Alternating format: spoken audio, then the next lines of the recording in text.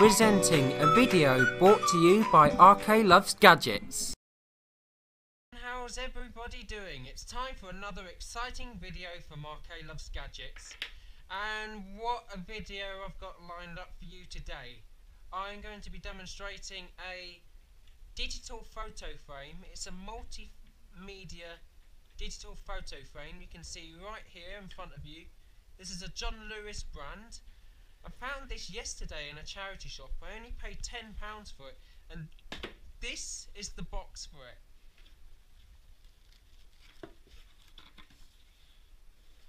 You have an instruction manual, interchangeable frames, some USB cables. It's quite a lot of accessories with it actually. This is actually pretty good. Um, I've tested it out and it does work really well. And it's in amazing condition as well.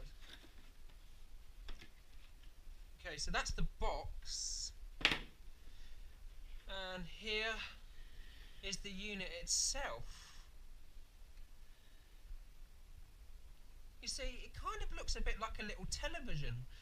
If I turn it around to the back, you've got all the buttons here. Underneath, you've got the USB cable, uh, a memory card and an SD card and this actually comes off. You can pull that off and hold it in your hands but you can put that on and that will hold it up on the table. Now, as you saw there, there are some controls on the back of the unit but if you don't want to use those you have also a little remote control. Now, think I might prefer using the remote control than the buttons on the unit itself. So say for example, you want to turn this on, but you're lazy, you don't want to get up to go to the unit and turn it on. Say for example, you're laying in bed and you're you just don't feel like getting up at all. If you want to turn this on, hit the power button.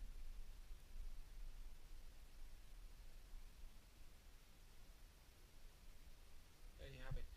Now, I'm still getting used to using this. Uh, you get this can play photos. You can show photos on here. You even have video, and you've also got music. So I'll press. Mm, please excuse me. I'm still getting used to it. The new music button. Okay. And you've got all these buttons here press.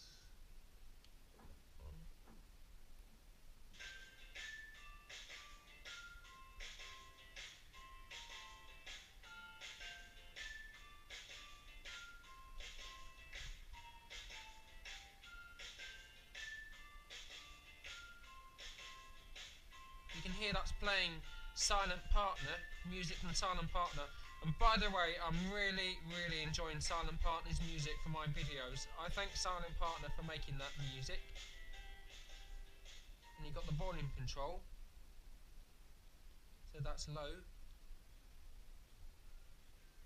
That's this lowest. And that's maximum. Now that is actually pretty good. Now, you can change tracks with these arrow keys right here. Blue skies. Every step.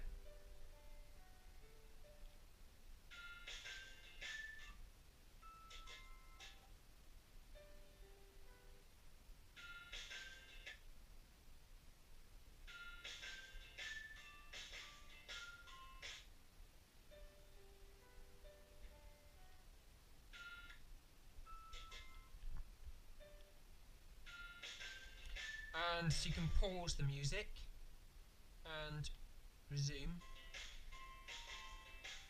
To get out of it, you hit escape and it does have some photos. How do I get to the photos?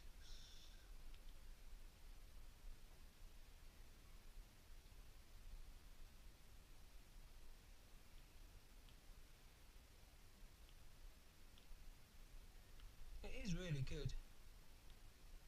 Pretty good image quality as well. You can change the brightness and the contrast.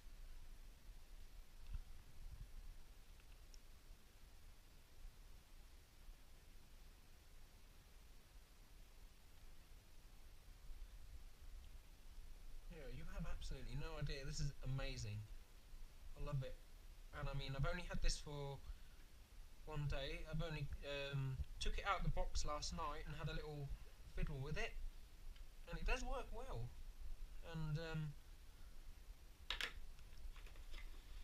and I'll show you how you can change the frame. Right, so you've got this packet here. But there we go. Open it up. and I'll take out frame. Now it still has its um, protector on it.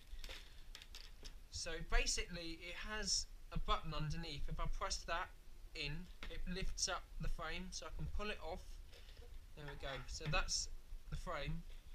And you can put this one on. And it basically sticks on with magnets. So the magnets stick it on.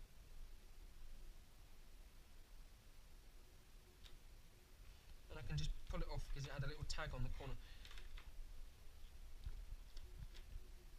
Like I said, I found this, I actually found this in a charity shop yesterday and this cost me £10.